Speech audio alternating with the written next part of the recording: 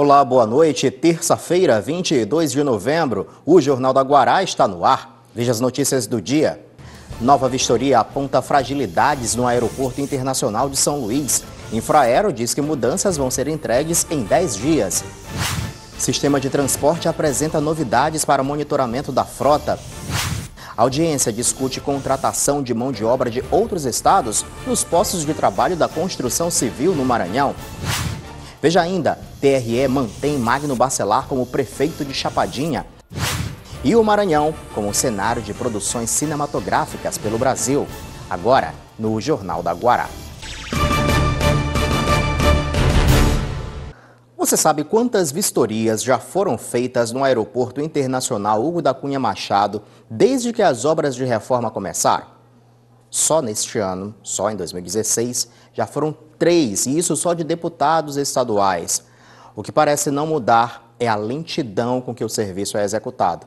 Apesar disso, a Infraero promete novidades para os próximos 10 dias. Depois de três anos, a obra no aeroporto Marechal Hugo da Cunha Machado finalmente está pronta. Este espaço foi construído e reservado só para embarques de voos internacionais, apesar de São Luís ainda não ter este tipo de serviço. E esse aqui é para voos domésticos. A Infraero disse à comissão de deputados que em até 10 dias tudo será liberado para os passageiros. Por ser um aeroporto internacional, tinha que ter uma infraestrutura melhor. Né?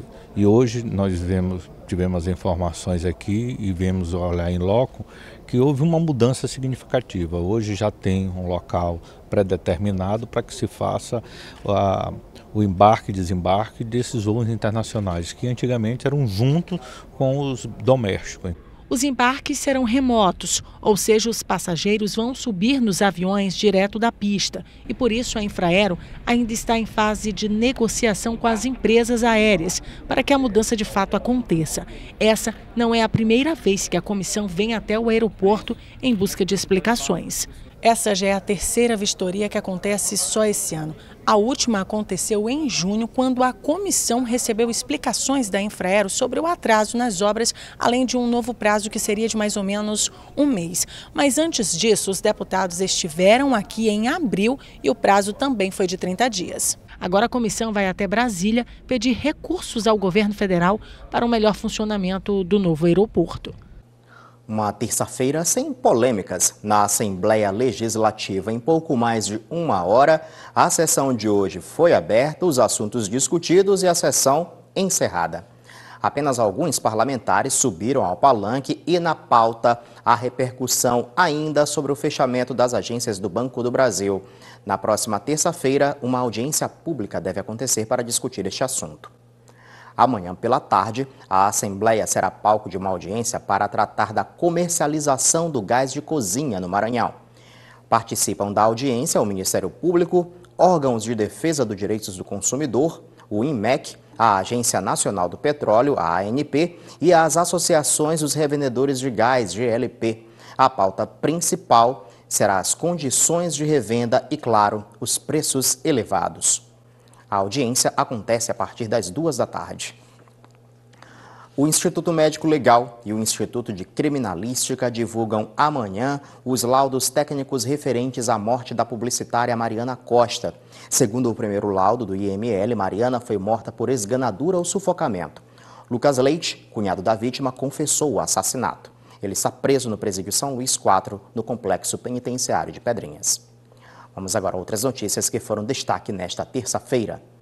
Deputados estaduais e representantes dos trabalhadores da construção civil estiveram reunidos em uma audiência na pauta a reclamação da categoria sobre uma invasão de profissionais de outros estados nas vagas desse setor. O deputado Bira do Pindaré apresentou um projeto que defende reserva de vagas para maranhenses na construção civil. O Ministério da Saúde informou que municípios brasileiros que não utilizam prontuário eletrônico têm até o dia 10 de dezembro para instalar o sistema nas unidades. Vários municípios maranhenses não cumprem essa orientação. Quem não fizer pode ter a verba suspensa. A Universidade Estadual do Maranhão divulgou o gabarito das provas de domingo e segunda do PASES. Candidatos concorreram a 4.200 vagas na instituição. O gabarito está disponível no site da UEMA. o www.uema.br. Vamos agora aos números do mercado financeiro desta terça. A Bolsa de Valores teve alta de 1,45 e terminou em 61.954 pontos. Dólar também em alta, de 0,13%, a R$ 3,35. Euro, alta de 0,19%, cotação de R$ 3,56. A caderneta de poupança rende amanhã 0,65%. Se você é desses que ainda tem um dinheirinho disponível e limite no cartão, com certeza está pensando em gastar na Black Friday, não é? Pode até gastar, mas a recomendação dos especialistas é utilize cautela. Dona Ana veio comprar uma televisão, mas com o anúncio da grande promoção, ela preferiu aguardar mais um pouco. Estou confiante, eu vim, vim, comprar hoje, mas eu vou esperar sexta-feira. Nesta rede de supermercados, os produtos já estão expostos e alguns deles chegam até 70% de desconto. Temos vários fornecedores parceiros que acreditam na empresa e que também querem levar melhores condições para os nossos consumidores. Além dos eletrodomésticos, os produtos de varejo também vão estar disponíveis e as expectativas são animadoras. A nossa expectativa é grande. Nós estamos há muitos meses negociando com fornecedores para conseguir trazer vários produtos que sejam realmente queridos pelo nosso consumidor.